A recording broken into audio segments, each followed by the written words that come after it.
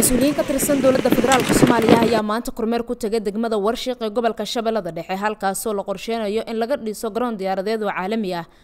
Wasiiro ka tirsan xukuumadda federaalk soomaaliya qaar ka mid ah xildhibaanada labada gole gudoomiyaha gobolka banaadir ayaa saakay safar dhulka ah uga ambabaxay muqdisho waxayna gaareen degmada warshiq halkaasna waxaa ku soo dhaweeyey xubno ka tirsan maamulka hirshabeelle iyo bulshada ku dhaqan deegaanka. Ugu horeyn wasiirka wasaaradda duulistii hawada maxamed cabdulaahi salaad omar ayaa sheegay in garoonka muqdisho uu yahay mid ciriiri ah deegaankan ay soo kormeereenna laga dhisi doono garoon caalami ah.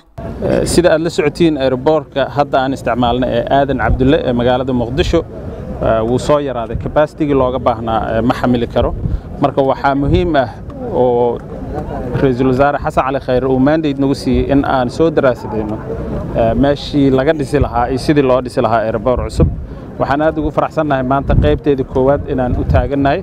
Sidaad arkaysiin iyada oo maalin jimco ay tahay maalinta keliya ee la nasanayay ayaa guddoomiyaha gobolka banaadir iyo wasiiradii iyo madaxdii dhammaan waxay isu soo xilqaameen inay arrintan ay soo fuliyaan. Waxay ku tusaysaa ahmiyadda ay noo leedahay dowlad ahaan in airboor halkan laga dhiso dhinaca kale wasiirka wasaaradda maaliyadda xukuumadda federaalk soomaaliya cabdiraxmaan ducaale bayle waxa uu xuseyn haddii laga shaqeeyay dinacafinta dalka markana ay tahay inay ka shaqeeyaan sidii dalka loo dhisi lahaa.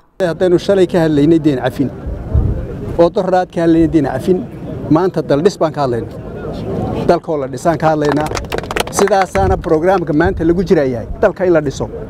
Janawari marka bishan soo socota laga bilaabo dalka dhismihiisa ayaa la gelayaa deentiina waa la cafinayaa always waan idhaha taasoo ma deentiina waa la cafinayaa.